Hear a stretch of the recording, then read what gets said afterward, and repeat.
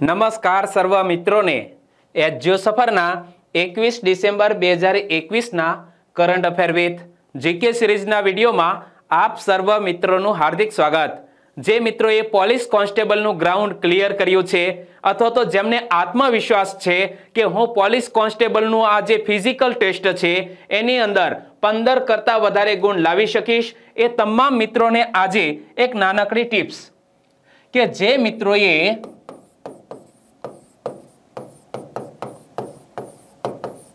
Police કોન્સ્ટેબલની physical test pass કરી છે અથવા તો તેમને આત્મવિશ્વાસ છે કે મારે પંદર કરતાં વધારે ગુણ આવશે.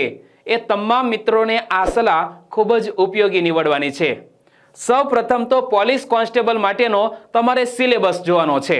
શું? સિલેબસ. આ સિલેબસ તમને અરીસાની માફક મિત્રો કામ આપશે. એટલે કે પરીક્ષામાં કેવા પ્રકારના પ્રશ્નો પૂછાશે, કયા ટોપિકમાંથી પ્રશ્ન પૂછાશે એટલે સિલેબસ એ દરેક વ્યક્તિને કંઠસ્થ હોવો જોઈએ. હું તો એમ કહું છું કે ગોખી વાળજો. કારણ કે જો સિલેબસ તમે ગોખેલો હશે, તો તમને આઈડિયા આવશે કે મારે બંધારણ વાંચવું કે ન વાંચવું. કાયદો વાંચવો તો કેટલો ડીપમાં વાંચવો? જીકે છે તો જીકે ક્યાં સુધીનું પૂછાશે? ગુજરાતની ભૂગોળ, ગુજરાતનો ઇતિહાસ ક્યાં સુધીનો લઈ શકે છે? આ બધું જે મિત્રોને સિલેબસ યાદ હશે ને, એમને ખ્યાલ આવશે. જો સિલેબસ પાકો હશે, તો તમે જે વાંચી રહ્યા છો તે પરીક્ષાની દ્રષ્ટિએ કેટલું અગત્યનું છે એ પણ તમે તેનું એક મૂલ્યાંકન કરી શકશો. એટલા માટે સૌથી પહેલું કામ એ કરવાનું છે કે તમારે સિલેબસને સમજવાનો છે. જો સિલેબસ સમજાઈ ગયો તો પરીક્ષાના પેપરની તાસીર કેવી હશે એ પણ તમે સમજી લેશો. એટલા માટે તમારે આડે ધડ તૈયારી નથી કરવાની કે પહેલું પ્રકાશન સારું છે ને પહેલું પ્રકાશન સારું છે ને લાય આ બુકમાંથી આ વાંચો ને તે વાંચો નહીં. એવું બિલકુલ ના કરતા. સૌ તો તાજેતરમાં જ તે આ વર્ષે પ્રાયોગિક ધોરણે જેને અજમાયશી કહી શકાય, એવા અજમાયશી ધોરણે છ, સાત, આઠના સામાજિક વિજ્ઞાન અમલમાં આવ્યા છે. અને એ એનસીઆરટી બેઝ છે. તો એ સૌ પ્રથમ તમે તૈયાર કરજો. હું વારંવાર કહેતો આવ્યો છું કે ત્યાંથી પરીક્ષા માટે વીસથી પચીસ જેટલા પ્રશ્નો આવવાના છે. છ, સાત આઠના સામાજિક વિજ્ઞાનમાં. કારણ કે એની અંદર એ પ્રમાણે કન્ટેન્ટ આપવામાં આવ્યું છે, જે પોલીસ કોન્સ્ટેબલને અનુરૂપ પણ છે અને તેમાંથી પ્રશ્ન પૂછાય એવી શક્યતા પણ છે. મેં અનુભવ કરેલો છે કે એક એક એકમમાંથી લગભગ પંચોતેર એંશી એંશી પ્રશ્નો નીકળે છે. એટલા માટે એક સોનેરી સલાહ છે કે તમે આ જે નવી સામાજિક વિજ્ઞાનની બુક આવી તે વાંચવાનું ન ભૂલતા અને સાથે સાથે એક બીજી વાત કરી દઉં કે જે મિત્રો બંધારણની તૈયારી કરે છે અને બંધારણમાં હજુ તેઓ પહેલી વખત ડોક્યુ કરી રહ્યા છે, એમને બંધારણની તૈયારી કઈ રીતે કરવી? કન્ફ્યુઝન વાળો પ્રશ્ન છે, કારણ કે જો બંધારણ સમજાય તો એકદમ ઈઝી લાગે અને બંધારણની કલમો ના સમજાય તો એકદમ તમારા માટે ભારરૂપ આ વિષય બની જતો હોય છે. હું તો એમ માનું છું કે બંધારણ છે એ સૌથી સહેલો વિષય છે અને પુસ્તકના બે પાનાની વચ્ચે પ્રશ્ન પૂછાઈ જાય એવી ગેરંટી પણ છે. કયા? આ બંધારણમાંથી. એટલા માટે બંધારણ જેવા વિષયમાંથી હું નથી માનતો કે તમારો એક પણ ગુણ કપાય. જો તમે વ્યવસ્થિત રીતે તૈયારી કરો તો. પરંતુ તૈયારીની શરૂઆત ક્યાંથી કરવી એવું પણ સમજાતું નથી. થાય એવું?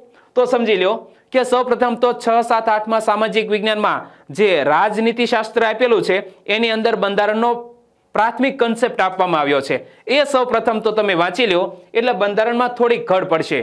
ત્યાર પછી શું કરવાનું છે? તો કે બંધારણમાં સૌથી અગત્યનો ભાગ હોય તો તે છે બંધારણના ભાગ. શું?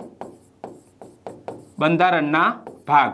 આ બંધારણના બાવીસ પ્લસ ત્રણ એટલે કે પચીસ જેટલા ભાગ છે. એ જો તમે સમજી લીધા કે કયા બંધારણના કયા ભાગમાં ક્યાંથી ક્યાં સુધીની વાત આવે છે?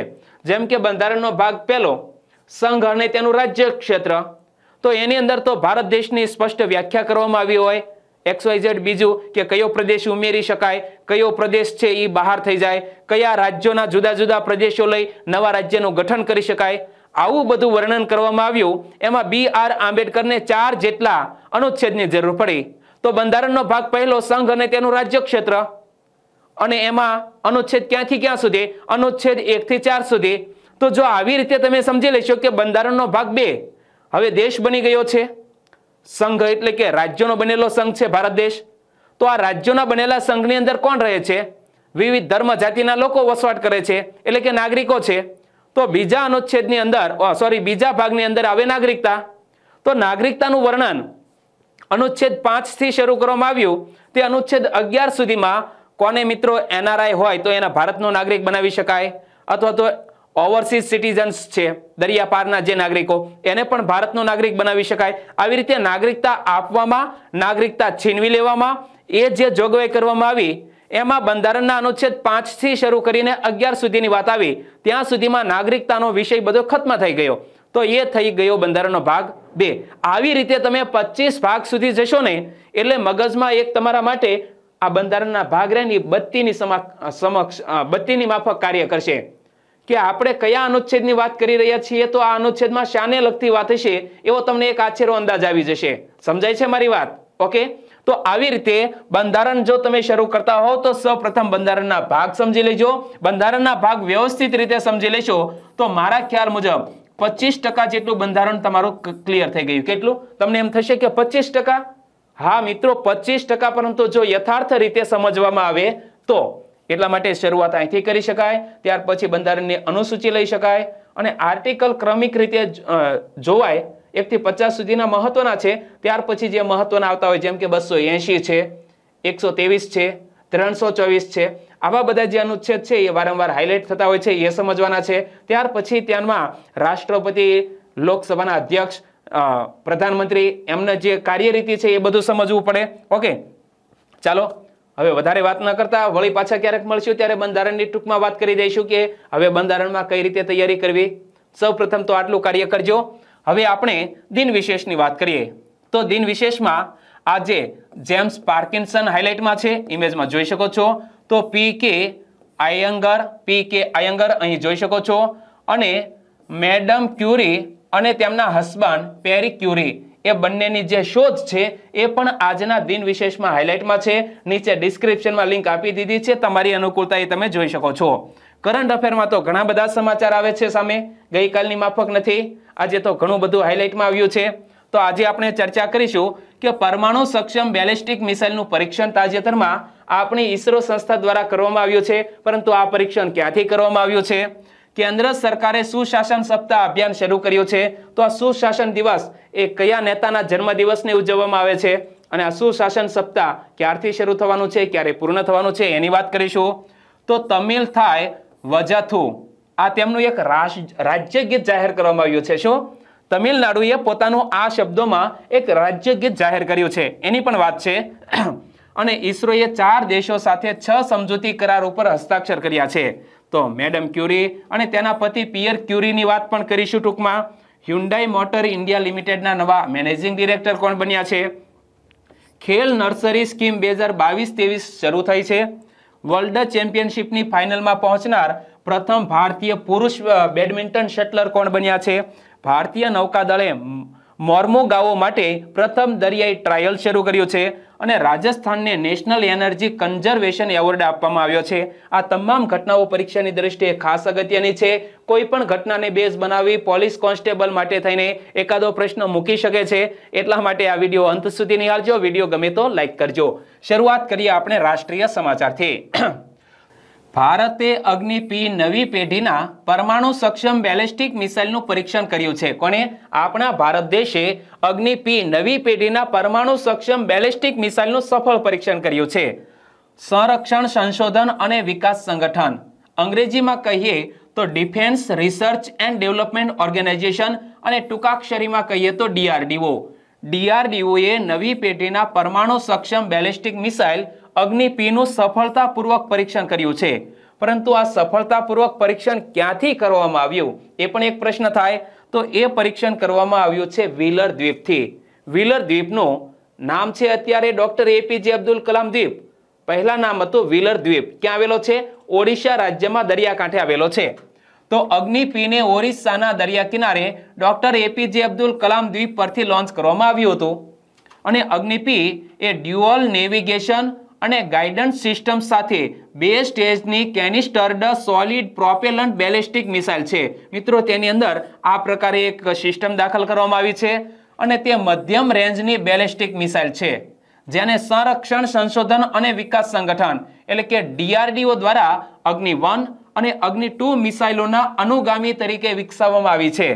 બેલેસ્ટિક મિસાઇલોની અગ્નિ મિસાઇલ શ્રેણી જે છે, તેમાં આ છઠ્ઠી મિસાઇલ જનરેશન છે. સિક્સ જનરેશનની આ મિસાઇલ તૈયાર કરવામાં આવી છે. અને રાષ્ટ્રીય સમાચારમાં આગળ વાત કરીએ, તો એની અંદર હાઇલાઇટમાં છે અટલ બિહારી વાજપેયીજી આપણને એમ થાય કે અટલ બિહારી વાજપેયીજી અહીં ક્યાંય તો લખેલ નથી. આવું કેમ? તો અહીં એક શબ્દ છે સુશાસન. અટલ બિહારી વાજપેયીજીનો જન્મ ક્યારે થયેલો? પચીસમી ડિસેમ્બરના રોજ, એટલે કે નાતાલના દિવસે. તો તેમના જન્મદિવસને ગુડ ગવર્નન્સ ડે તરીકે ઉજવવામાં આવે છે, સુશાસન દિવસ તરીકે. પરંતુ હવે કેન્દ્ર સરકારે સુશાસન સપ્તાહ ઉજવવાનું નક્કી કર્યું છે ગુડ ગવર્નન્સ વીક ઉજવવાનું નક્કી કર્યું છે. તો અહીં જુઓ કે કેન્દ્ર સરકારે સુશાસન સપ્તાહ અભિયાનનું આયોજન કર્યું છે. કેન્દ્ર સરકારે દેશભરમાં ગુડ ગવર્નન્સ વીક શરૂ કરવા જઈ રહી છે અને તે વીસમી ડિસેમ્બરથી શરૂ થશે, પચીસમી ડિસેમ્બર સુધી ચાલવાનું છે આ ગુડ ગવર્નન્સ વીક તો આ હેઠળ કેન્દ્ર સરકાર જાહેર ફરિયાદોના નિવારણ અને સેવા વિતરણમાં સુધારો કરવા માટે પ્રશાસન ગાંવ કી ઓર નામનું એક રાષ્ટ્રવ્યાપી અભિયાન શરૂ કર્યું છે. મિત્રો, આ શબ્દ પકડજો. પ્રશાસન ગાંવ કી ઓર નામનું એક રાષ્ટ્રવ્યાપી અભિયાન કેન્દ્ર સરકાર શરૂ કરવા જઈ રહી છે અને એની અંદર જે પ્રજાના પ્રશ્નો છે, એમાંય ખાસ કરીને ગ્રામીણ વિસ્તારની અંદર પ્રશ્નો છે તેનો ઉકેલ લાવવા માટે સરકાર પ્રયાસો કરશે. તો આ અભિયાનની મુખ્ય થીમ શું રાખવામાં આવી છે? સુશાસનને ગ્રામીણ વિસ્તારોમાં લઈ જવાનો? શું આવી થીમ હેઠળ આ સપ્તાહ ઉજવવામાં આવી રહ્યું છે? ખાસ અગત્યના પ્રશ્નો આ ઘટનામાંથી બની શકે છે. થીમ શું છે? સુશાસનને ગ્રામીણ વિસ્તારોમાં લઈ જવી? અને આ સપ્તાહનું સમાપન ક્યારે થવાનું છે? પચીસમી ડિસેમ્બરના રોજ. દિલ્હીના વિજ્ઞાન ભવનમાં ગુડ ગવર્નન્સ ડેની ઉજવણી સાથે તેનું સમાપન થશે. મેં તમને કહ્યું તેમ પચીસમી ડિસેમ્બર એટલે અટલ બિહારી વાજપેયીજીનો જન્મદિવસ, જેને ગુડ ગવર્નન્સ ડે તરીકે ઉજવવામાં આવે છે. અને પચીસમી ડિસેમ્બરના રોજ આ સપ્તાહનો અંત પણ આવશે. ત્યાં વિજ્ઞાન ભવનમાં એક કાર્યક્રમનું આયોજન થવાનું છે દિલ્હીમાં. અને આ દેશવ્યાપી સુશાસન સપ્તાહ અભિયાન શરૂ કરવાની ઉદ્દેશ્ય શું રહેલો છે? જાહેર ફરિયાદોનું નિવારણ કરવાનો છે. શું? જાહેર ફરિયાદોનું નિવારણ જેવી રીતે લોક અદાલતનું આયોજન કરવામાં આવે છે, એની અંદર લોકોના પ્રશ્નો સાંભળવામાં આવે છે, શક્ય તેટલા ઉકેલ લાવવાના પ્રયાસો થાય છે. બસ એવું જ કંઈક કાર્ય આ વીકની ઉજવણી પાછળ છે.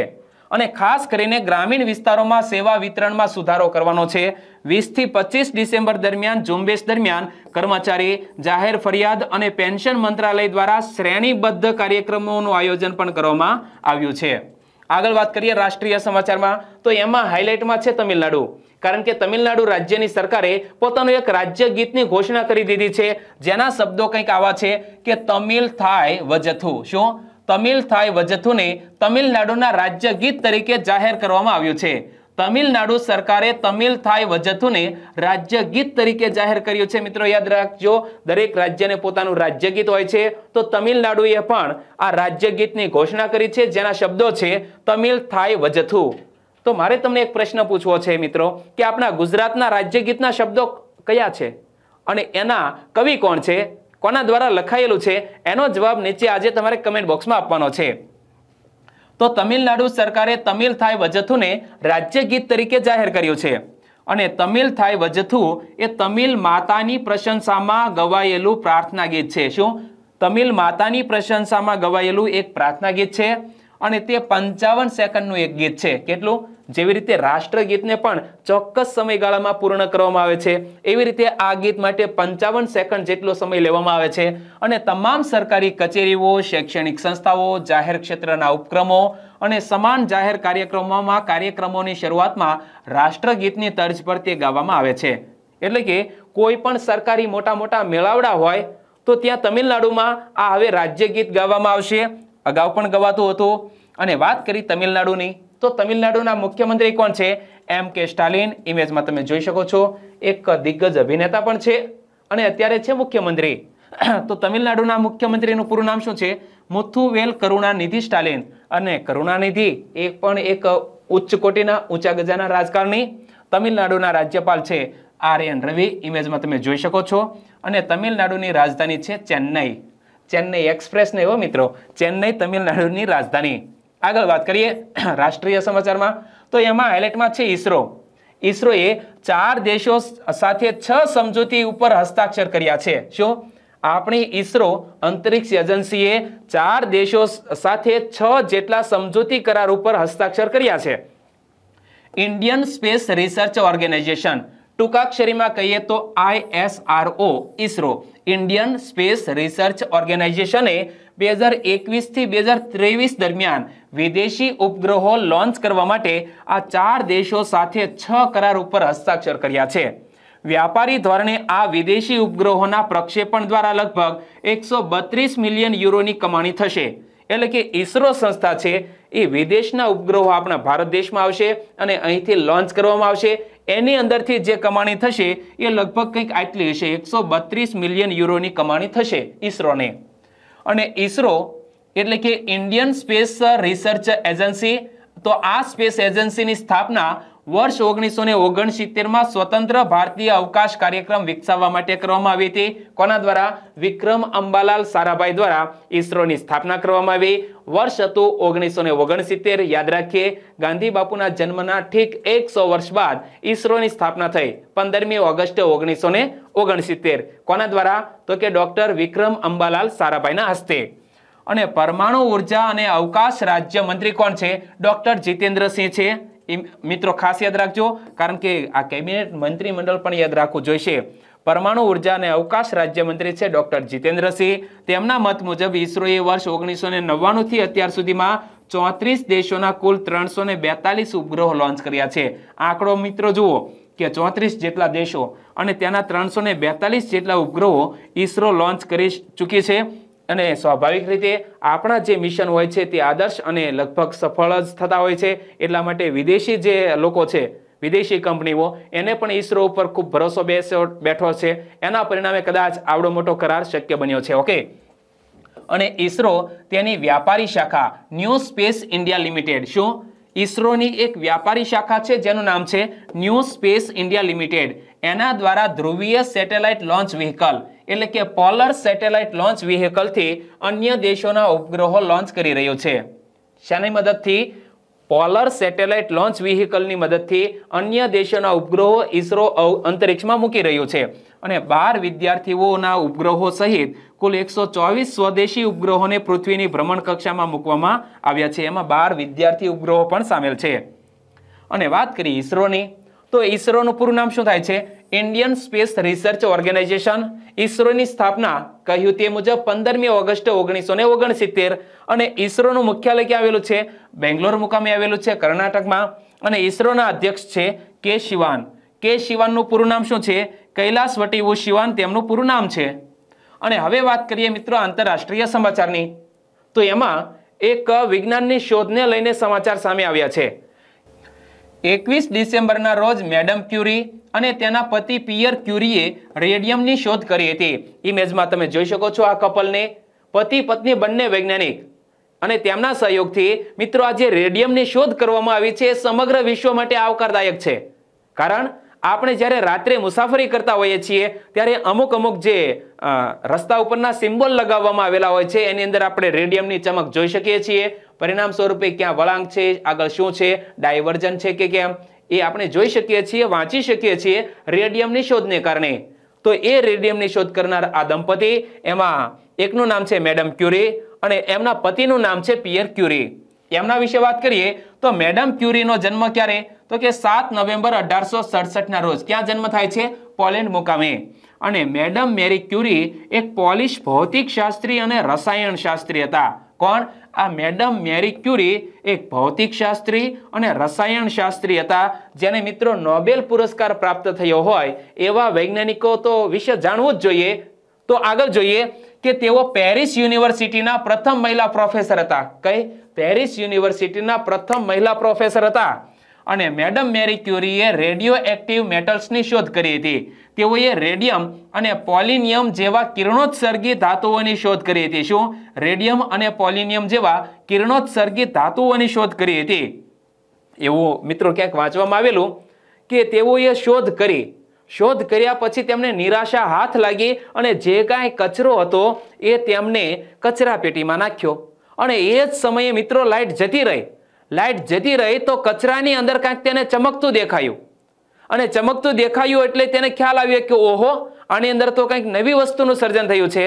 તો આવી રીતે ઘણી બધી શોધો એવી છે કે વૈજ્ઞાનિકોએ ઘણા બધા પ્રયાસો કર્યા છે, છતાં પણ હાર નથી માન્યા અને પરિણામ સ્વરૂપે આ વિશ્વને એક અમૂલ્ય ભેટ આપીને ગયા છે. તો તેણીના રેડિયો એક્ટિવ તત્વો રેડિયમ અને પોલિનિયમના પતિ પિયર દ્વારા તેની આ સહશોધને કઈ આ રેડિયો એક્ટિવ તત્વો એટલે કે રેડિયમ અને પોલિનિયમ. આ બંનેની શોધમાં તેમના પતિ પિયરે પણ ખૂબ જ યોગદાન આપેલું છે અને પરિણામ સ્વરૂપે વર્ષ ઓગણીસો ને એકમાં ફિઝિક્સમાં નોબેલ પારિતોષિક સંયુક્ત રીતે આ પતિ પત્નીને આપવામાં આવેલું. અને તેણીએ પેરિસ અને વોર્સોમાં ક્યુરી ઇન્સ્ટિટ્યૂટની પણ સ્થાપના કરી હતી. કેન્સરની નવી સારવાર વિકસાવવા તેણીએ રેડિયો એક્ટિવિટીના પોતાના અભ્યાસનો ઉપયોગ કર્યો હતો અને આ ઉપચારમાં કિરણોત્સર્ગી આઇસોટોપ્સનો ઉપયોગ કરવામાં આવ્યો હતો અને વર્ષ ઓગણીસો ને ત્રણમાં ભૌતિક વિજ્ઞાનમાં નોબેલ પારિતોષિક મળ્યો હતો. અને વર્ષ ઓગણીસો ને અગિયારમાં રસાયણ વિજ્ઞાનમાં પતિ પિયર ક્યુરી સાથે તેમને એનાયત થયો હતો. અને મેડમ મેરી ક્યુરીની પુત્રી એટલે ઇરેન ક્યુરી એને પણ વર્ષ ઓગણીસો ને પાંત્રીસમાં રસાયણ વિજ્ઞાનનો નોબેલ પારિતોષિક મળ્યો હતો. વિચાર કરો કે પતિ પત્નીને તો નોબેલ પારિતોષિક મળે છે, પરંતુ તેમની પુત્રી ઇરેન ક્યુરીને પણ રસાયણ વિજ્ઞાનનો નોબેલ પારિતોષિક ઓગણીસો ને પાંત્રીસમાં મળે છે. કેટલું ઉચ્ચ કોટીનું આ મિત્રો આખે આખું કુટુંબ હશે કે એક એક કુટુંબમાં ત્રણ ત્રણ વ્યક્તિને નોબેલ પારિતોષિક મળેલા છે. અને અવસાન ચાર જુલાઈ ઓગણીસો ને ચોત્રીસના રોજ રેડિયો એક્ટિવ વિકિરણથી થયેલ એનિમિયાના કારણે. જો રેડિયો એક્ટિવ વિકિરણથી તેમને કેન્સર જેવી સાઇડ ઇફેક્ટ થઈ છે અને એનિમિયાના કારણે તેઓનું અવસાન થાય છે. આગળ વાત કરીએ. તો હ્યુન્ડાઈ મોટર ઇન્ડિયા લિમિટેડના નવા એમડી તરીકે અંશુ કિમ નિયુક્ત થયા છે. ઇમેજમાં તમે જોઈ શકો છો, નામ છે અંશુ કિમ. અને તેઓ હ્યુન્ડાઈ મોટર ઇન્ડિયા લિમિટેડના નવા મેનેજિંગ ડિરેક્ટર તરીકે નિમણૂક પામ્યા છે. હ્યુન્ડાઈ મોટર કંપની એ એક જાન્યુઆરી બે હજાર બાવીસથી શરૂ થનારી હ્યુન્ડાઈ મોટર ઇન્ડિયા લિમિટેડ એટલે કે એચ એમ આઈ એલના પ્રબંધ નિદેશક તરીકે અંશુ કિમની નિમણૂક કરવામાં આવી છે. શું? એચ એમ આઈ એલ પૂરું નામ શું થાય છે? હ્યુન્ડાઈ મોટર ઇન્ડિયા લિમિટેડ એના મેનેજિંગ ડિરેક્ટર તરીકે અંશુ કિમની નિમણૂક થઈ છે. અને તેઓ સિઓન સીઓબ કિમ એટલે કે એસ એસ કિમનું સ્થાન લેશે. કોનું? સિઓન સિઓબ કિમનું સ્થાન લેશે. જેઓ દક્ષિણ કોરિયાના સિઓલમાં હ્યુન્ડાઈના મુખ્ય મથક ખાતે ગ્લોબલ ઓપરેશન્સ ડિવિઝનનું નેતૃત્વ કરશે. અને એચ એમ આઈ એલ એ એચએમસીની સંપૂર્ણ માલિકીની એક પેટા કંપની છે. અને ભારતની પ્રથમ સ્માર્ટ મોબિલિટી સોલ્યુશન પ્રદાતા અને ભારતમાં નંબર વન કાર નિકાસકાર તરીકે પણ તે કાર્યરત છે. અને હ્યુન્ડાઈ મોટર કંપનીનું મુખ્ય મથક ક્યાં આવેલું છે? દક્ષિણ કોરિયાના સિઓલ મુકામે હ્યુન્ડાઈનું હેડક્વાર્ટર આવેલું છે. હવે મિત્રો ખેલ જગતની વાત કરીએ. ખેલ જગતની વાત કરીએ એ પહેલાં નાનકડી વાત કરી દઉં કે કરંટ અફેર તમારે ડે ટુ ડે કરવું પડશે. કારણ કે ત્રણેક મહિનાનું જો તમે કરંટ અફેર એક સાથે વાંચવા જશો તો બધી ઘટનાઓનો ખીચડો થઈ જશે. એટલે પોલીસ કોન્સ્ટેબલમાં કરંટ અફેર માટે છેલ્લા છ મહિનાનું કરંટ અફેર તમારે ધ્યાનમાં લેવાનું છે. એની અંદર તમારે લગભગ લગભગ આઠમો, નવમો મહિનો, સપ્ટેમ્બર મહિનાથી શરૂઆત કરી દેવાય. September, October, November, December, January, February, ત્યાં સુધીનું કરંટ અફેર ઇનફ છે. છ મહિનામાંથી મોટાભાગની ઘટનાઓ બનતી હોય છે. પરંતુ હા, આ વખતે ઓલિમ્પિક એક એવી ઇવેન્ટ ગઈ છે. તમે બે હજાર સોળનું પોલીસ કોન્સ્ટેબલનું પેપર જોઈ લેજો. એની અંદર ઓલિમ્પિકના કેટલા પ્રશ્નો પૂછાયા છે? કારણ કે બે હજાર સોળની જ્યારે પોલીસ કોન્સ્ટેબલ હતી, બે હજાર સોળમાં જ્યારે રિયો ઓલિમ્પિક આયોજિત થયો, એમાંથી ઘણા બધા પ્રશ્નો પૂછાયા હતા. તો આ વખતે પણ આવી જે મેજર ઇવેન્ટો છે, એમાંથી બે ત્રણ બે ત્રણ પ્રશ્નો તો પૂછાવાના જ છે. તો એને લગતા કોઈ પણ વીડિયો હોય, અથવા તો એને લગતું કોઈ સાહિત્ય હોય, એ તમારે વાંચી લેવું જોઈએ. જેથી કરીને તમને એક આત્મવિશ્વાસ આવી જશે કે આમાંથી આટલા પ્રશ્નો આવશે, તમારો એક માર્કિંગનો સ્કોર પણ નક્કી કરી શકશો અને કોઈ પણ ઘટના બને ને, એટલે તમને પણ આઈડિયા આવી જાય કે આ ઘટનામાંથી પ્રશ્ન પૂછાય. અને મિત્રો, આ જે પ્રકૃતિનું તત્વ છે ને, એ તમને હંમેશા સહયોગ કરતું હોય છે. કારણ કે પ્રકૃતિના તત્વોમાંથી એવી એક આંતરશક્તિ રહેલી હોય છે, જે તમારા મગજને ઇફેક્ટ કરે છે અને પરીક્ષા માટે તમને પ્રફુલ્લિત બનાવી દે. અને ગમે ત્યાંથી પેપર સેટર ગમે ત્યાં કેમ ન બેઠો હોય, એ પ્રશ્ન ત્યાંથી ઉઠાવીને તમારી સમક્ષ લાવે છે. આ કુદરતનો નિયમ છે મિત્રો. યાદ રાખજો. ખેલ જગતની વાત કરીએ, તો હરિયાણા રાજ્યએ રમત ગમતને પ્રોત્સાહન આપવા માટે ખેલ નર્સરી સ્કીમ બે હજાર બાવીસ ત્રેવીસ શરૂ કરી છે. કયા રાજ્યએ? હરિયાણા રાજ્ય આમય તે ખેલ જગતમાં ટોપ ઉપર રહ્યું છે. આપણા ભારત દેશમાં સૌથી આગળ પડતું રાજ્ય હોય તો પંજાબ હરિયાણાનો નંબર આવે. તો હરિયાણા રાજ્યએ રમત ગમતને પ્રોત્સાહન આપવા માટે ખેલ નર્સરી સ્કીમ બે હજાર બાવીસ ત્રેવીસ શરૂ કરી છે. હરિયાણાના રમતગમત અને યુવા બાબતોના રાજ્યમંત્રી કોણ છે? સંદીપસિંહ તો સંદીપસિંહે રાજ્યમાં રમતગમતને પ્રોત્સાહન આપવા માટે ખેલ નર્સરી સ્કીમ બે હજાર બાવીસ ત્રેવીસની શરૂઆત કરી છે. અને હરિયાણાના ખેલાડીઓએ પોતાની રમત પ્રતિભાથી રાજ્યને આંતરરાષ્ટ્રીય સ્તરે એક નવી ઓળખ પણ અપાવી છે. આપણે સૌ જાણીએ છીએ. અને રાજ્યમાં નવી રમત પ્રતિભા વિકસાવવા રાજ્ય સરકાર હંમેશા પ્રયત્નશીલ છે. અને એટલા માટે જ તે તેમણે કદાચ આ સ્કીમ લોન્ચ કરી છે. અને આ યોજના સ્પોર્ટ્સ નર્સરીને પ્રોત્સાહન આપે છે, જે સરકારી, ખાનગી શૈક્ષણિક સંસ્થાઓ અને ખાનગી રમત સંસ્થાઓમાં શરૂ કરવામાં આવશે. જુઓ, હરિયાણા રાજ્યની જે પણ સરકારી સ્કૂલો છે, ખાનગી શૈક્ષણિક સંસ્થાઓ છે કે ખાનગી રમત સંસ્થાઓ છે, ત્યાં મિત્રો આ સ્કીમનું અમલીકરણ કરવામાં આવશે. તો ઓલિમ્પિક, એશિયન અને કોમનવેલ્થ ગેમ્સમાં સમાવિષ્ટ રમતો માટે સ્પોર્ટ્સ નર્સરીઓ ખોલવામાં આવી રહી છે. કેવી રમતો અહીં સ્પોર્ટ્સ નર્સરીમાં સામેલ કરવામાં આવી છે કે જેઓને ઓલિમ્પિકમાં સ્થાન હોય એશિયન ગેમ્સમાં સ્થાન હોય કોમનવેલ્થ ગેમ્સમાં જેમને સમાવિષ્ટ હોય, એવી રમતો અહીં આ સ્પોર્ટ્સ નર્સરીઓમાં શીખવવામાં આવશે. વાત કરીએ હરિયાણાની, તો હરિયાણાના મુખ્યમંત્રી છે મનોહરલાલ ખટ્ટર, હરિયાણાના રાજ્યપાલ છે બંડારુ દત્તાત્રેય અને હરિયાણાની રાજધાની છે ચંડીગઢ. ઓકે ત્યાર પછી આગળ વાત કરીએ, તો ખેલ જગતમાં હાઇલાઇટમાં છે કિદામ્બી શ્રીકાંત કિદામ્બી શ્રીકાંત, ભારતના એક ખ્યાતનામ બેડમિન્ટન શટલર. તેમણે પણ એક અનોખી સિદ્ધિ હાંસલ કરી છે. શું? તો કે કિદામ્બી શ્રીકાંત વર્લ્ડ ચેમ્પિયનશિપની ફાઇનલમાં પહોંચનાર પ્રથમ ભારતીય પુરુષ ખેલાડી બન્યા છે. શું? વર્લ્ડ ચેમ્પિયનશિપની ફાઇનલમાં પહોંચનાર પ્રથમ ભારતીય પુરુષ ખેલાડી કોણ બન્યા છે? કિદામ્બી શ્રીકાંત. અને ભારતીય સ્ટાર બેડમિન્ટન ખેલાડી એવા કિદામ્બી શ્રીકાંતે ભારતના જ એક બેડમિન્ટન શટલર, જેનું નામ છે લક્ષ્ય સેન લક્ષ્ય સેનને હરાવીને બેડમિન્ટનમાં, એટલે કે બેડમિન્ટન વર્લ્ડ ફેડરેશનની આ ચેમ્પિયનશિપમાં ફાઇનલમાં પ્રવેશ કર્યો છે. કોંગ્રેચ્યુલેશન કિદામ્બી શ્રીકાંતને અમારી એજ્યુ સફર ચેનલ વતી. અને આ ટાઇટલ મુકાબલામાં પહોંચનાર તે પ્રથમ ભારતીય પુરુષ ખેલાડી બન્યો છે. અને શ્રીકાંતે લક્ષ્ય સેનને સત્તર એકવીસ એકવીસ ચૌદ અને એકવીસ સત્તરથી હરાવ્યો હતો. બંને વચ્ચેની મેચ એક કલાક અને નવ મિનિટ સુધી ચાલી હતી અને લક્ષ્ય સેને બ્રોન્ઝ મેડલ જીતી લીધો છે. અને તેઓની પહેલા પ્રકાશ પદુકોણ, દીપિકા પદુકોણના પિતાશ્રી, પ્રકાશ પદુકોણ વર્ષ ઓગણીસો ને ત્યાસીમાં જ્યારે બી સાંઈ પ્રણીતે વર્ષ બે હજાર ઓગણીસમાં વર્લ્ડ ચેમ્પિયનશિપમાં બ્રોન્ઝ મેડલ જીત્યો હતો, તો અત્યાર સુધીનું સર્વશ્રેષ્ઠ પ્રદર્શન કરનારા આ બે બેડમિન્ટન શટલર અને એના કરતાં પણ આગળ વધી ગયો છે કિદમ્બી શ્રીકાંત. આગળ વાત કરીએ, તો રાષ્ટ્રીય સમાચારમાં ભારતીય નૌકાદળે મોર્મુગાઓ માટે પ્રથમ દરિયાઈ ટ્રાયલ શરૂ કર્યું છે. કોણે? ભારતીય નૌકાદળે મોર્મુગાવો માટે પ્રથમ દરિયાઈ ટ્રાયલ શરૂ કર્યું છે. ભારતીય નૌકાદળે અરબી સમુદ્રમાં ભારતીય નૌકાદળના સ્વદેશી રીતે નિર્મિત સ્ટીલ્થ વિનાશક મોર્મુગાવોનું પ્રથમ સમુદ્ર પરીક્ષણ હાથ ધર્યું છે. ઇમેજમાં તમે જોઈ શકો છો. અને આ યુદ્ધ જહાજ પ્રોજેક્ટ પી ફિફ્ટીન બી હેઠળ બનાવવામાં આવ્યું છે. મિત્રો, આપણો એક પ્રોજેક્ટ છે, જેને નામ અપાયું છે પી ફિફ્ટીન બી ઓકે તો એ અંતર્ગત આ યુદ્ધ જહાજ તૈયાર કરાયું છે અને તેનો વિકાસ પોર્ટુગીઝ શાસનમાંથી ગોવાની મુક્તિની સાઠમી વર્ષગાંઠ સાથે એકરૂપ છે. અને પ્રોજેક્ટ પી ફિફ્ટીન બી હેઠળ બનાવવામાં આવી રહેલું મારમુ ગાવો બીજું સ્વદેશી સ્ટીલ્થ ડિસ્ટ્રોયર છે. અને તે વર્ષ બે હજાર બાવીસના મધ્યમાં કાર્યરત થવાની એક સંભાવના પણ છે.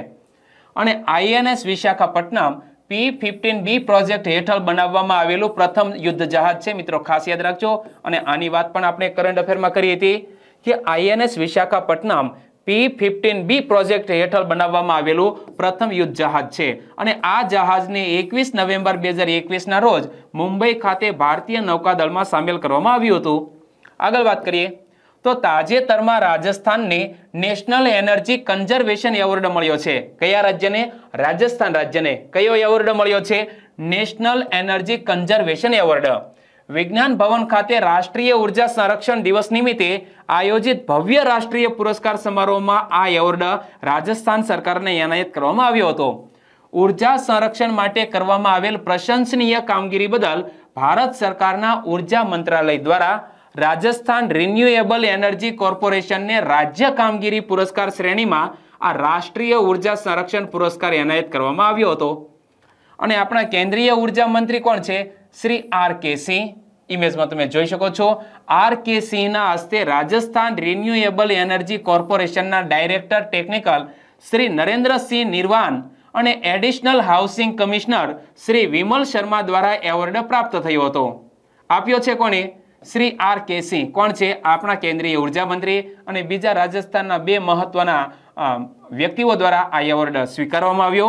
અને સમગ્ર દેશમાં ઊર્જા સંરક્ષણ ક્ષેત્રે ઉત્કૃષ્ટ કામગીરી કરવા બદલ રાજસ્થાનને આ નેશનલ એવોર્ડ એનાયત થયો છે. અને વાત કરી રાજસ્થાનની, તો રાજસ્થાનના મુખ્યમંત્રી બોલે તો અશોક ગેહલોત, રાજસ્થાનના રાજ્યપાલ છે કલરાજ મિશ્ર, અને રાજસ્થાનની રાજધાની છે પિંક સિટી જયપુર. ચાલો મિત્રો, હવે કમેન્ટ બોક્સમાં તો આજે વાત નહીં કરી શકીએ, પરંતુ આજે જે પ્રશ્ન પૂછવો છે તે તમારી સ્ક્રીન ઉપર કે બંધારણના કયા ભાગને મેગ્ના કાર્ટા કહેવામાં આવે છે? શું? બંધારણના કયા ભાગને મેગ્ના કાર્ટા કહેવામાં આવે છે?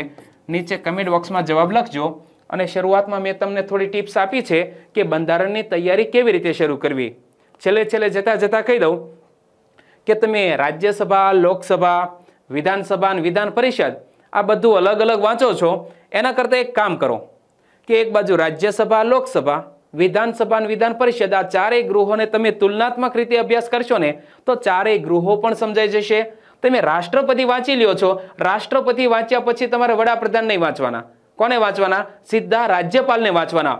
જો તમને રાષ્ટ્રપતિની કામગીરી સમજાઈ જશે, તો રાજ્યપાલની કામગીરી આપોઆપ સમજાઈ જશે. એવી જ રીતે વડાપ્રધાનને સમજશો, તો મુખ્યમંત્રી પણ સમજાઈ જશે. આવી રીતે મિત્રો તમે તૈયારી કરશો તો તમને ખૂબ જ મજા આવશે. ઓકે વીડિયો કેવો લાગ્યો? નીચે કમેન્ટ બોક્સમાં લખજો. આવતીકાલે મળશું ત્યારે આ પ્રશ્નનો જવાબ આપીશું. આપનો દિવસ શુભ રહે. ટેક કેર એન્ડ જય હિન્દ.